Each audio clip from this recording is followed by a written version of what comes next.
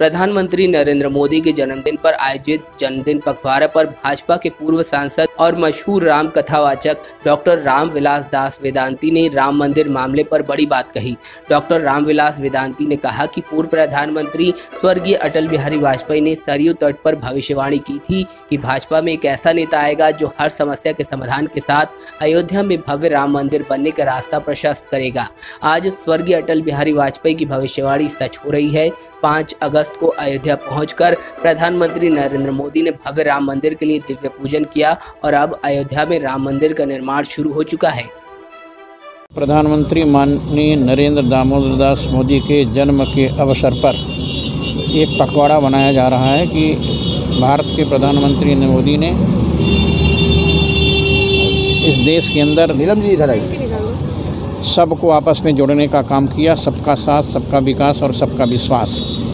देश की सब जनता को साथ में लेकर चलने का काम यदि देश के किसी प्रधानमंत्री ने किया है तो उनका नाम नरेंद्र दामोदर दास मोदी जी हैं। मुझे याद है परमहंस रामचंद्र दास जी महाराज, जो हमारे राम जन्म न्यास के अध्यक्ष थे, उनकी अंत्येष्टि में जब अटल बिहारी वाजपेयी जी अयोध्या आए थे और परमहंस जी की चिता जल रही थी, उस समय अटल बिहारी वाजपेयी ने कहा था कि आज राम जन्म न्यास के अध्यक्ष तो चले गए और हो सकता है मैं भी चला जाऊँ, लेकिन भारतीय जनता पार्टी में एक ऐसा नेता आएगा जो आप सबकी समस्याओं का समाधान करेगा और अयोध्या में भव्य रामलला के मंदिर का निर्माण होगा। जय श्री राम। जय श्री राम। जय श्री राम। जय श्री राम। अटल बिहारी वाजपेयी ने उसमें जो कहा था आज अटल बिहारी वाजपेयी का वह वाक्य सरयू के तट पर कहा हुआ चरितार्थ हो रहा है। लोगों ने ये विश्वास नहीं किया था कि राम की जन्मभूमि पर कभी भव्य रामलला का मंदिर भी बनेगा।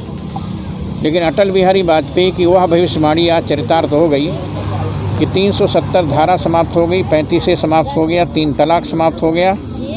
और जिसकी कल्पना किसी ने नहीं किया था, राम जन्मभूमि पर भव्य रामलला के मंदिर का निर्माण भी प्रारंभ हो गया। पाँच अगस्त का वह दिन, जिस दिन श्री राम जन्मभूमि पर रामलला मंदिर निर्माण का शिला पूजन, भूमि पूजन करने के लिए माननीय नरेंद्र दामोदर दास मोदी अयोध्या जी आए थे। उस दिन विश्व के हिंदुओं को विश्वास हो गया कि अब रामलला का भव्य मंदिर बनना प्रारंभ हो जाएगा।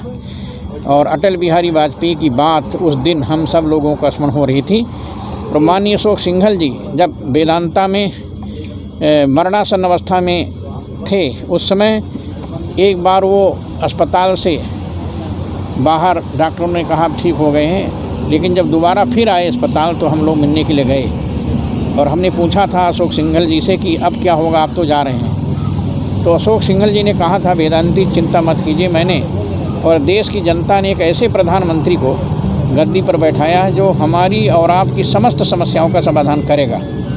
अशोक सिंघल जी की वह बात भी आज चरितार्थ हो रही है कि हमारे देश के सब लोगों को आपस में मिलाकर, इस देश के नागरिकों को साथ में लेकर चलने का काम यदि देश के किसी प्रधानमंत्री ने किया है तो नरेंद्र दामोदर दास मोदी जी हैं। और आज उनके जन्मदिन के अवसर पर हम सब लोग एक पखवाड़ा मना रहे हैं। सारे देश में नरेंद्र मोदी चाहते हैं कि सब लोग साथ में मिलकर रहें, साथ में चलें, साथ में उठें, साथ में बैठें, साथ में खाएँ पिएँ, और इस देश की जनता को लेकर के साथ में चलें।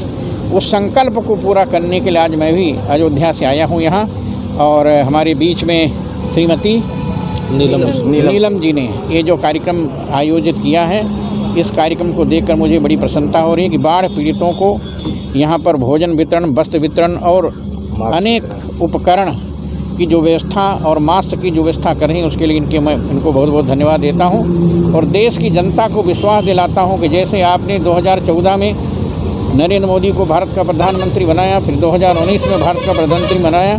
ठीक उसी प्रकार 2024 में फिर से भारत की प्रधानमंत्री गद्दी पर नरेंद्र मोदी फिर से प्रधानमंत्री बनेंगे।